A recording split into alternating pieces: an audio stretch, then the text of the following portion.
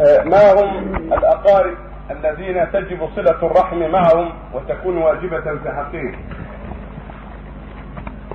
كل الأقارب يوصلون لكنهم يتفاوتون في القرب.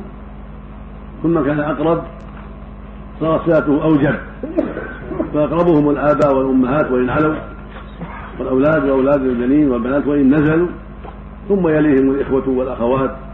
ثم بنو الإخوة وبنات الإخوة ثم الأعمام والعمات وهكذا. يقول النبي صلى الله عليه وسلم عليه الصلاة والسلام لما سئل قال له رجل أي الناس أحق بالصحبة؟ يأخذ بحسن الصحبة. قال أمك. قال ثم من؟ قال أمك. قال ثم من؟ قال أمك. قال ثم من؟ قال أبوك. ثم الأقرب. فالأقرب في اللفظ الآخر يا رسول من أبر؟ قال أمك. قال ثم من قال أمك قال ثم من قال أمك قال ثم في الرابعة قال أباك. ثم الأقرب فالأقرب فهو مأمور بأن يبر والديه. ثم الأقرب فالأقرب كأولاده وإخوته ونحو ذلك.